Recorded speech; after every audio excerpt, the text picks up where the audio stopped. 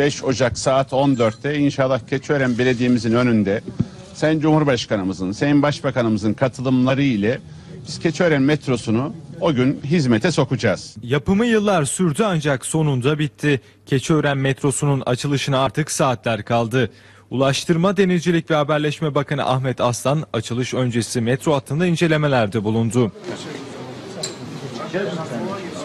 Keçiören ile Atatürk Kültür Merkezi'ni bağlayacak metro hattı Perşembe günü törenle hizmete açılacak. Bir kere daha gelelim, yerinde bilgi alalım. Açılış yapılmadan önce müdahale etmemiz gereken bir şey var mı? Yapmamız gereken bir şey var mı?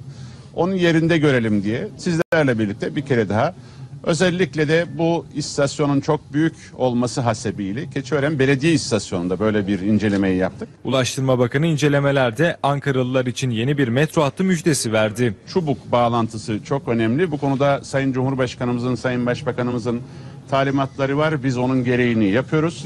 İnşallah bu sene onun da ihale sürecini başlatarak dolayısıyla Keçiören metrosunu Çubuk'a kadar uzatmış olacağız.